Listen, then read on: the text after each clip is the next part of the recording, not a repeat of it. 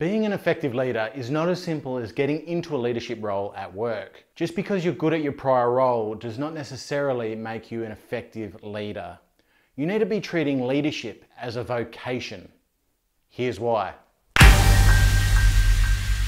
Just lead. Frequently you see people get promoted into leadership positions because they've been proven performers in their prior role. Whilst this is a great indicator that they will go on to perform in their leadership role, it is by no means a given.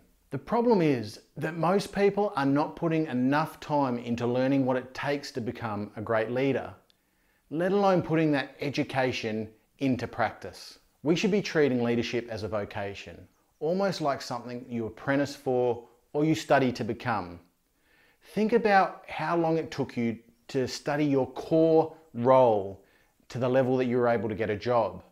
I think about myself with university. I did four years in order to be able to be qualified to be employed as an electrical engineer. But then when I was employed as an electrical engineer, I quickly found out that I did not know what I needed to know and that the education was just beginning.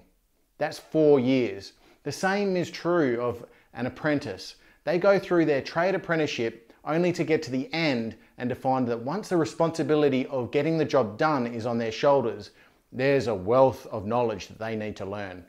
What then, I wonder, makes people think that they can do a leadership role just because? No one comes out of the womb pointing fingers and directing people, being that leader. It takes an education and then experience to become competent in the leadership world. Let's call it your technical core business. Whether you're a truck driver or a lawyer, it takes some time to become competent in that role to be able to perform it effectively. You should be spending as much time, if not more, to becoming a great leader. Let's look at the example of fellow YouTuber Mike Boyd, whose channel I've been watching for many years.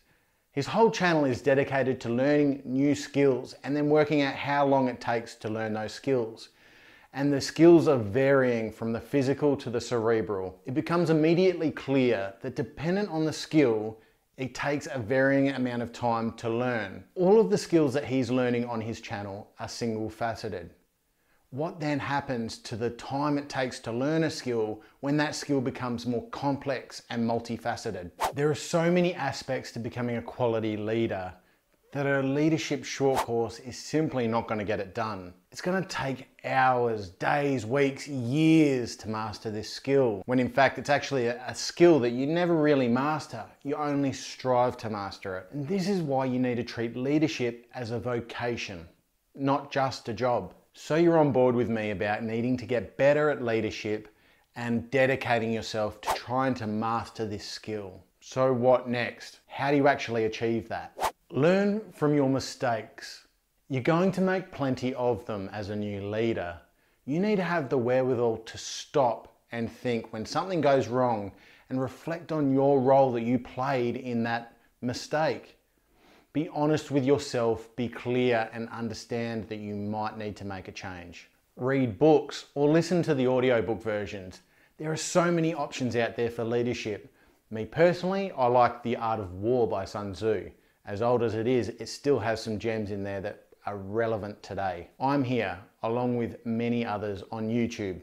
It's a resource that you can tap into to get advice and growth plans. I even have a Patreon community that you can join to get further advice and tap in even deeper. Develop a plan with your boss at work. Is there money in the budget for leadership training available to you?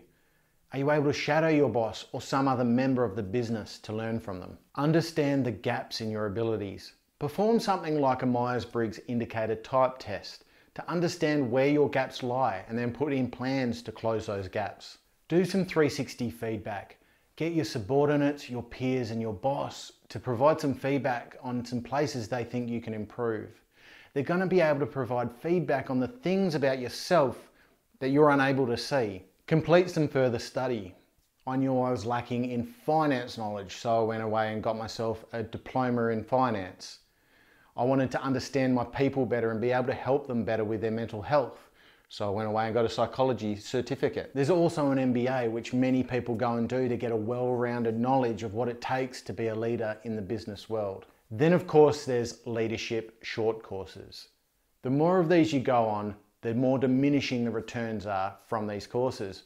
But as long as you get one thing from those courses, one little piece of knowledge that you can apply to your day to day, it becomes worth it. And remember, in these courses, you need to hunt for your growth. Treating leadership as a vocation is just the beginning. There are so many skills you need to cover off in order to become a great leader.